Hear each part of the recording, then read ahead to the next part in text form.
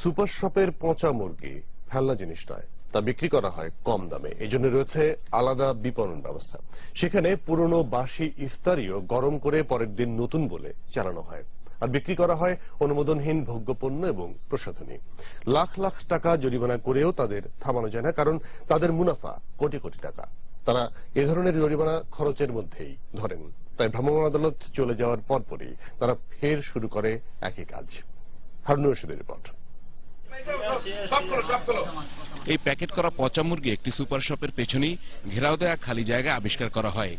আর super শপটি উত্তরার রবীন্দ্র সরণিতে নাম trust family needs shop ভেতরে ভ্রাম্যমাণ আদালতের অভিযান চলছে আর তাই দ্রুত ফ্রিজ থেকে সরিয়ে এখানে রাখা হয়েছে। গুনে দেখা গেল কয়েকটি প্যাকেটে বৃষ্টিরও বেশি মুরগি একটু আগেও ফ্রিজে ছিল। অল্পই আছে এমন না। দশ সাত কেজি জানা গেল এই পচা মুরগি আবার কম দামে বিক্রি করা হয়। এর নাকি চাহিদাও আছে অনেক। আর এগুলোর কত বিক্রি হয়? কেজি? এই যে বাইরে। বাইরে? বাইরে ষাট সত্তর এমন এরকম? যাতে যাবে স্যার যার থেকে যাবে আছে এগুলোর চাহিদা আছে ভালোই না? ও। না পয়লা মুরগি তো।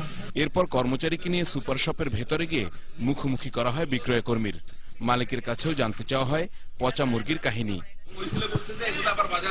না না 60 না না না না না। এটা স্যার এখন আর বিক্রি হবে না এটা নিয়ে হালা দেওয়া হবে। নির্বাহী ম্যাজিস্ট্রেট জানালেন এখানেই শুধু নয় সুপার শপগুলোর পচা মাংস বিক্রির একটি চেইন আছে। এর আগে আমরা পেয়েছি কয়েকশো কেজি গরুর মাংস পেয়েছি যেগুলো মাত্র পঞ্চাশ টাকা কেজি হিসেবে একটা সুপার শপ বিক্রি করেছে। চারতলা এই সুপার শপটি উত্তরায় খুবই জনপ্রিয়। এখানে প্রসাধনী নানা ধরনের প্যাকেটজাত ভোগ্যপণ্য শিশু খাদ্য আর ফাস্টফুড বিক্রি হয়। এসব পণ্যের অধিকাংশই মানহীন অনুমোদনহীন।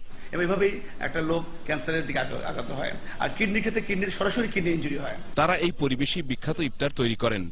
তৈরি করা হয় সুস্বাদু কাবাব গ্রিল সবকিছু। কিন্তু যা তাজা বলে চালানো হয় তার অধিকাংশই বাসি খাবার অনুপযোগী। কাবাবগুলো কবে তৈরি করছেন? কালকে কালকে। কালকে। এখন কীভাবে আবার দেবেন? এখন আবার ওপেন আছে গরম করে ওপেনে দিব তাই তাদের মালিক সহ নয় জনকে মোট সতেরো লাখ টাকা জরিমানা অনাদায়ে প্রত্যেককে তিন মাসের কারাদণ্ড দেয়া হয়। আর মালিক খুব দ্রুতই জরিমানার টাকা পরিশোধ এবং ইফতারির বাজার বন্ধের মুসলেকা দিয়ে কারাভোগ থেকে রেহাই পান। তবে রোববার ইফতারির পৌনে এক ঘণ্টা আগে ভ্রাম্যমাণ আদালত দণ্ড দিয়ে চলে যাওয়ার পরপরই দৃশ্যপট পাল্টে যায়। তারা নিষেধাজ্ঞা উপেক্ষা করে মুহূর্তেই সাজিয়ে বসে ইফতারির জি। দেখে মনে হয় যেন কিছুই হয়নি। সবকিছু ঠিকঠাক আছে। আর ক্রেতারা ইফতারি বিক্রির ওপর নিষেধাজ্ঞার কথা শুনে বিস্মিত হন। খুব ভালো ভালো খাবার পাওয়া যায়। জরিমানা দেওয়ার পরও যদি এই ধরনের ঘটনা ঘটে এর পরবর্তী ব্যবস্থা কি হবে? ক্রেতাদের কথা সতেরো লাখ টাকা জরিমানা এদের জন্য কিছুই না। পঞ্চাশ লাখ থেকে এক কোটি টাকা হওয়া উচিত। তাদের মতে সুপার শপের বেআইনি কাজ থামাতে হলে আরও কঠোর ব্যবস্থা নিতে হবে। দিতে হবে আরও বড় অঙ্কের অর্থদণ্ড। হারুনুর রশিদ একুশে টেলিভিশন ঢাকা।